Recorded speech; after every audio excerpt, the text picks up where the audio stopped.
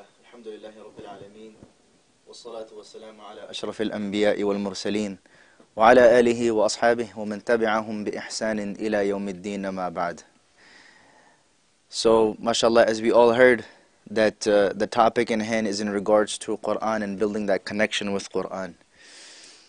Um, Quran, of course, we know it is the book of Allah subhanahu wa ta'ala. It's a book that uh, Allah ta'ala, He Himself challenges.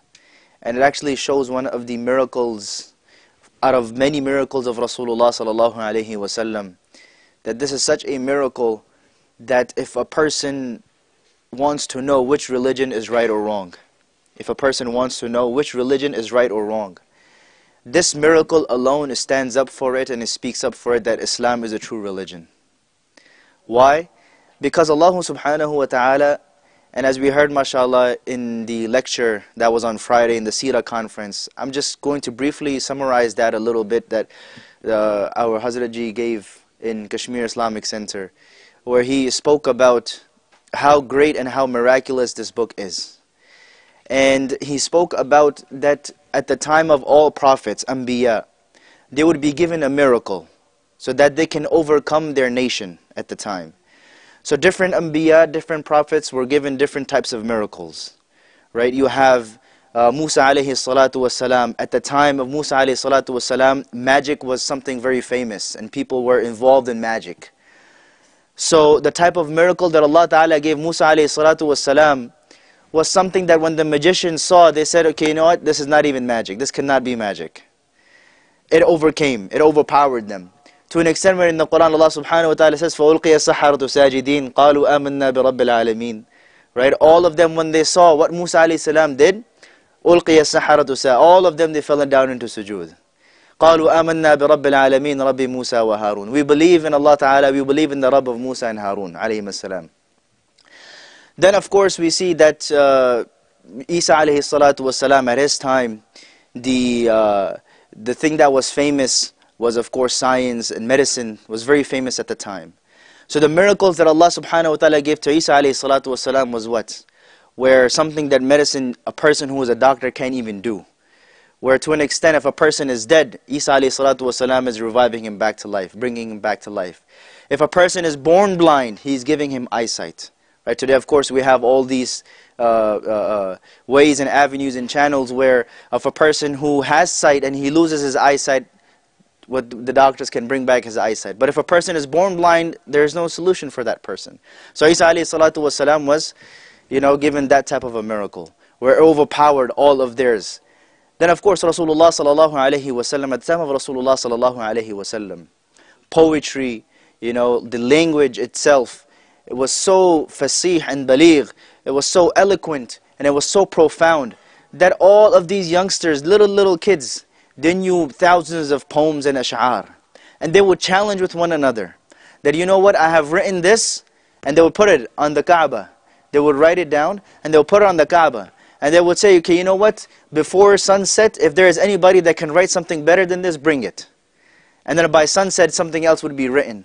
And then same way, by the morning, sunrise, if there's anybody that can write something better than this. This is how much they were into language and their, the, the, the, the, Arabic language, the, the eloquence of it and the profoundness of it. So Allah subhanahu wa ta'ala gave the Quran to Rasulullah sallallahu alayhi wa. Now the Quran being given to Rasulullah sallallahu alayhi wasallam, the challenge that Allah ta'ala gave to the people at the time. And this challenge is to remain till the day of Qiyamah Where Allah subhanahu, Allah subhanahu wa ta'ala says that in the beginning, the first challenge, the very first challenge was what? You bring a surah like the surah of the Quran. Bring a surah, a chapter like the chapter of the Quran. And of course, no one was able to do so. Then Allah subhanahu wa ta'ala dumbed it down. Allah subhanahu wa ta'ala brought it down even more.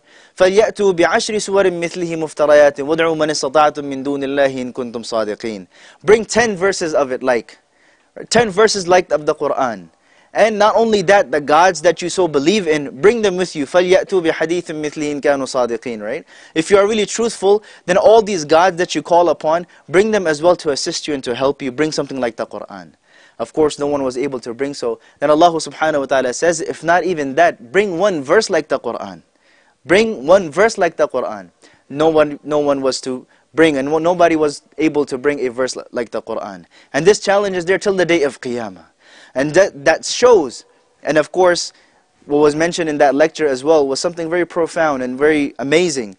That all the mu'jizas, all the miracles of prophets before, they died down with the prophet. Meaning they were done. They were out. Once the prophet passed away, the mu'jiz and the miracle also left the face of this earth. But the mu'jiz of Rasulullah is such where it, it, it proves that he is Khatamun Nabiyyin. He is the last of the prophets. He's going to remain the prophet till the day of Qiyamah. And the mu'jiza to prove that, the miracle to prove that is Quran because nobody can bring anything like the Quran. It is such a book that Allah subhanahu wa ta'ala has given us. Right? That's why people who recognize it and people who know and people who have connection with this book, they spend their entire lives reading it right? We know about the, the stories of our uh, pious scholars, the likes of Imam Shafi rahmatullah alayhi, the likes of Imam Hanifa rahmatullah alayhi, where one one Quran they're reciting, Uthman radiallahu anhu, he would read one Quran during the day. In the day he would recite one Quran. Can you imagine that? Inside in, in, in his salah, from the night to the morning, till Fajr salah, he would finish one Quran, completion of one Quran. These are people who knew what Quran has to give, what Quran has to offer. So they were connected with the book of Allah subhanahu wa ta'ala. Today we are connected with everything but the Quran. It is a sad reality. It is a sad reality. Allah, the Prophet ﷺ in the hadith says, إِنَّ اللَّهَ يَرْفَعُ بِهَذَا الْكِتَابِ أَقْوَامًا وَيَضَعُ بِهَا آخَرِينَ كما قال. That with the means of this book, and when we had held on to this book, the ummah, when it was holding on to this book, the ummah was on top. The ummah was ruling the whole world. The ummah had overpowered the whole world. But once we had put it on top of a shelf where we only touch it maybe once a year, then Allah subhanahu wa ta'ala has brought us down. The Prophet ﷺ says what? Inna Allah yarfa'u bihadha al-kitab yaqwaman. Allah ta'ala raises nations with this book. That's where Umar radiallahu anhu, we know, speak of Umar and the legacy of Umar radiallahu anhu. And I'm going to conclude with this insha'allah. Umar radiallahu anhu, this is when he is about to pass away. And these are his last, final words to the entire ummah. And he is a person, an individual who is what? Ruling over half the world at the time.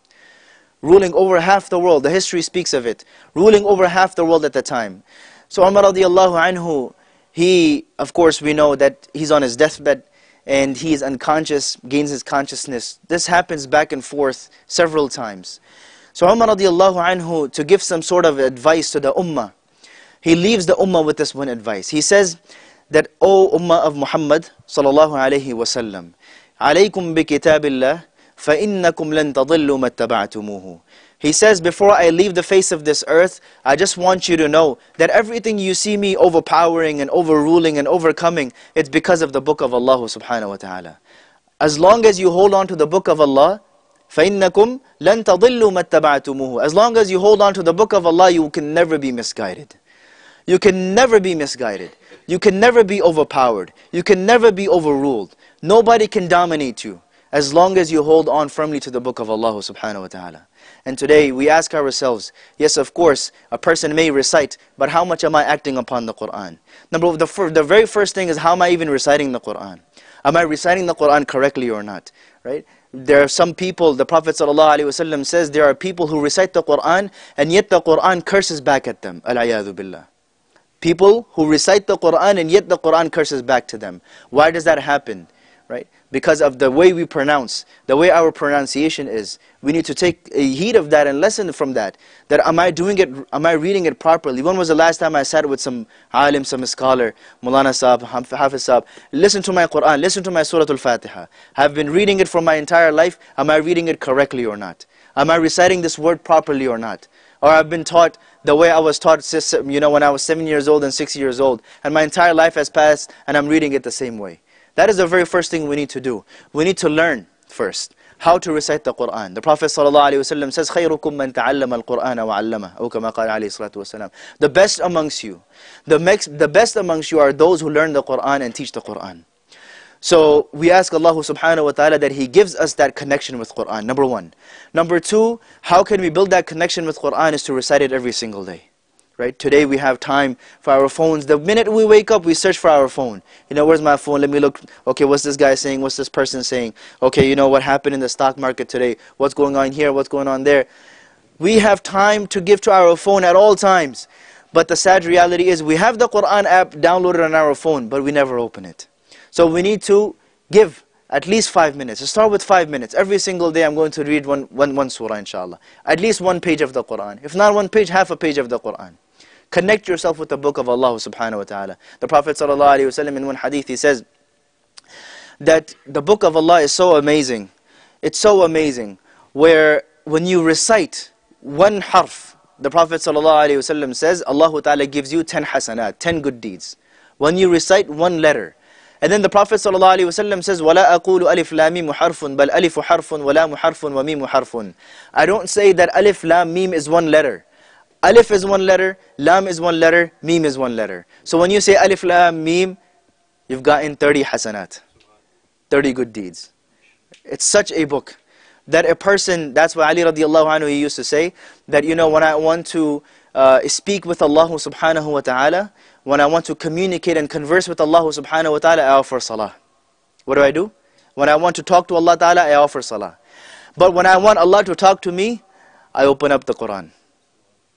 When I want Allah to speak to me, I open up the Quran. So when we are actually, when you open when we open the Quran, when we read the Quran, think of it as if Allah is talking to me. How amazing is that? That will create love and that bond between you and Rabbul Alameen subhanahu wa ta'ala. May Allah give me and all of us the ability and the tawfiq that we connect ourselves uh, emotionally and physically with the Quran. We attach ourselves with the Quran. The way that when we are when we leave the face of this earth and when we are buried in our graves, there will be some people, may Allah Ta'ala make us from amongst those fortunate people, where the Quran will come and will intercede for the person in the grave. The Quran will come and it will intercede for the person in the grave. Let me just leave with you with one last hadith. It came to my mind right now.